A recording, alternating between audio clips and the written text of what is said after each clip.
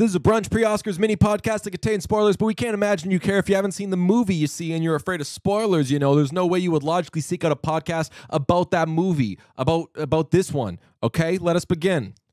Oppenheimer. Written and directed by Christopher Nolan is Oppenheimer. It, you've seen it. It's got a million things to list off here, so we'll save you some time. It's got a runtime of three hours, a 93 on Rotten Tomatoes. What is it? 91 audience score. It is the heavy favorite to win Best Picture at the Oscars. Is nominated for a total of 13 Academy Awards: Best Picture, Best Director, Best Actor, Cillian Murphy, Best Supporting Actor, Robert Downey Jr., Best Supporting Actress, Emily Blunt, and Best Sound. Uh, this is maybe just a cut below being one of the all-time greats, but you you tell me. I think it's in there. I like think it's all time of- great. Watch. It is a classic movie, an instant classic. Uh, not not much bad things to say about this movie. This movie is a Hua. very close to being a masterpiece, if it's not a masterpiece. We've got a full episode on this, by the way, from uh, when we initially saw it. Uh, you could check that out somewhere on YouTube. Uh, minus 2,500 betting odds, and that sounds about right. This just mm-hmm. ain't the year for who's going to win discussion. This is a very heavy favorite, should be a very heavy favorite, and I think would be in most years. Like, Parasite doesn't beat this. And No. like the thing like Shape of Water. I don't know if this will be out at the same time or before or after. There's a comp that I make with Shape of Water and Poor Things and this and Dunkirk and everything. Like I'm thinking of best like past best picture winners. They're they're not beating this. And there are a lot of movies I love this year and they're not beating this. Yeah, so uh, there, there's two things that it has going for it, and well, there's a lot of things it has going for it, but like two real big, uh, heavy, heavy punches here. Number one, it's like a cinematic masterpiece. But enough about the breasts. There's cinematic masterpiece, uh, and number two, it was a pop culture event, and I know half of that is due in in part to Barbie, and don't want to take that away from Barbie, but like Barbenheimer was a real pop culture moment in time, and I think that you have to give it credit for that for how many people it got to the theaters as part of this experience. yeah. I mean, going into this, I think I saw the yeah, I saw this after Barbie. Same, But I went into each with a here we go. All right. Wow me. And granted, even though for Barbie, I remember I was at like a professional screening, yet everybody still was like, fuck that. We're wearing cool party. shit. And like Yeah. they were partying and like throwing shit at the screen. They were drunk. There was fucking strippers everywhere. like it was just out of control. Uh this I saw with Mortals and still was just like, all right, like there's a buzz. here we go. Like it was all palpable, and what a picture. Didn't feel too long. I remember we both said at the same time that like they Barbie and Oppenheimer, despite one being way longer than the other, but this is what exactly three hours. Mhm. This felt exactly the same length as Barbie. Yeah. like you don't want to miss a second of this, and there's so much great going for it. Like the explosion, done justice, everything looks amazing. But mainly, I remember gushing about this at the time. You leave your theater holding your chest at these performances. Madon, like Kill- Cillian Murphy is so great. He's gonna win Best Actor, but you're like, he could not be in this movie. There could be no J. Robert Oppenheimer character or actor in this movie, and you'd still be like. Robert Downey Jr., my God, Krumholtz, what do you do? Matt Damon, did you just possibly give the best performance of your career in this movie? Like, I don't even fucking care about Casey Affleck in this movie. Rami Malek is good? What? Incredible movie. Even Emily I- Blunt. I'm, I'm willing to go out on a brave stance and say that Cillian Murphy as Oppenheimer was very important to the movie Oppenheimer. Yeah, but you're like, I don't need. Like, like, fuck Oppenheimer for a second. um, yeah, this is another one of those movies that I would classify in like the has no business being this good kind of thing because it's three hours long. It's a historical biographical movie about a fucking scientist or a physicist or whatever he fucking was. I don't care. It's not important. We will never learn about J. Robert Oppenheimer. Nice try, fucking dorks. We're not doing it. So like so so much dialogue, so dialogue heavy, but boy, to do that and to tell this story and to never have it feel like it's going too slow or like there's too much sitting around talking. I, I forget who uh, was it. Somebody had some dumb celebrity who had like a oh, all they're doing is talking in this movie. It, Yeah. fucking idiot. And when they're talking, it's fucking It's Harry Truman calling J. Robert Oppenheimer a baby back bitch. it's incredible. This movie is It's so Einstein good. talking your fucking ear off. It- it's so good. it's Uh, so good that I honestly didn't see a lot of like annoying horniness about Florence Pugh No. being naked in this movie. And if you were to tell me with how horny film Twitter can be and how Florence Pugh is the apple of so many a film viewer's eye that we could be adults about Florence Pugh being naked a whole bunch. You're like, wow, there must have been a whole lot of stuff in this movie that kept you honest. I wonder how much. I wonder how much of that was because she RIP'd in tragic fashion. The character, Like like, character. uh, so maybe people felt disrespectful being horned up for uh for Florence Pugh as a result of the way that that that character arc de- devolved. I don't know if there's much that could stop people from like the, the, the horny types, and I could mention some by name. like s- some are even friends. Bob Goochman. Bob Goochman, who, who would see this and be like post a bunch of hilarious gifs. Yes. But like I, I think that Bob, we could look love up Bob. his tweets.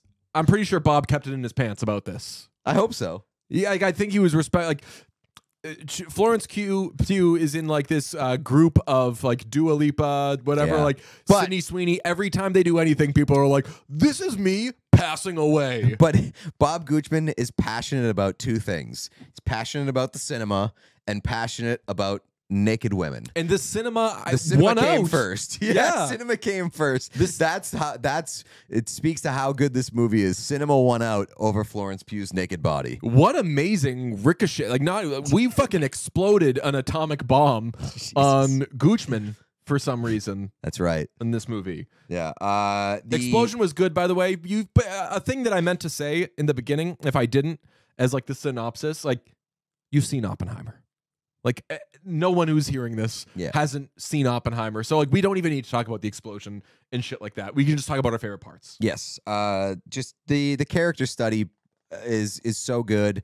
Um performances off off the charts, cinematography off the charts, and we haven't talked about it, but Ludwig, Ludwig Göransson crashes the score. I went back and listened to our review of it. I was very proud. The first thing we talked about in our main review is Ludwig Göransson's score, which is so critical to keeping you gripped to this entire movie. Every piece of dialogue, so like I reject the they're just sitting around like everything you hear and see is attached to like a lot of like droning kind of pedal notey things. Very jonny greenwood there will be blood which is like for my money and a lot of people's money like an iconic score.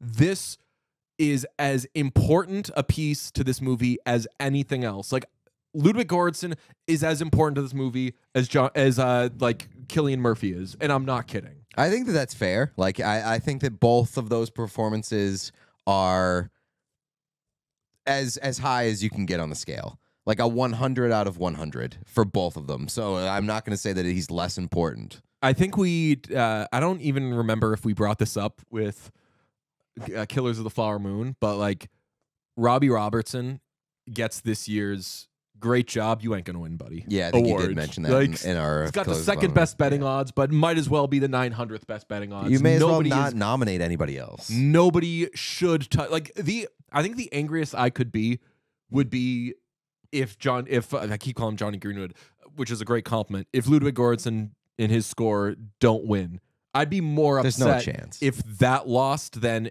if Oppenheimer lost Best Picture. I mean, if eh, that has to be like the the steepest odds, right, of any category. let's pull or it I, up. I guess maybe uh, I could see No, best like- foreign film uh, or best international film. Apologies, Mm. uh, best international film. Like there is a clear winner there because it's the one international film nominated for best picture. Best original score, Oppenheimer minus two thousand. Killers of the Flower Moon plus one thousand. And I know, like for sports, minus two thousand. sounds Just don't even touch crazy. it. Yeah. But for movies, like if the favorite's only minus 2000, you're like, ooh. There's somebody sneaking in. Yeah, that's, that's pretty close. Uh, maybe I should. Yeah, I can get, get that's some good odds. But Uh, what's uh what's the zone of interest uh odds for uh best international film? let me see. Uh, best anime film It's it's got to be steeper than that, right? Uh, best uh, international feature. Zone of interest is minus 2500. Okay. Let me find. Let me see if I can find a category that is just so like what do we? Oh, this movie, best supporting actor, Robert Downey Jr. is minus thirty five hundred. Jesus. Go off, King. That Fantastic. Correct. Yeah, I mean, he was so good in this, but that that's a bit surprising to me that that is the one that is like the steepest rather than the one international movie that's nominated for best picture. Second straight year in which best supporting actor was probably the biggest shoe in. Right. What was last year? Uh, last year was uh uh why can't I think of uh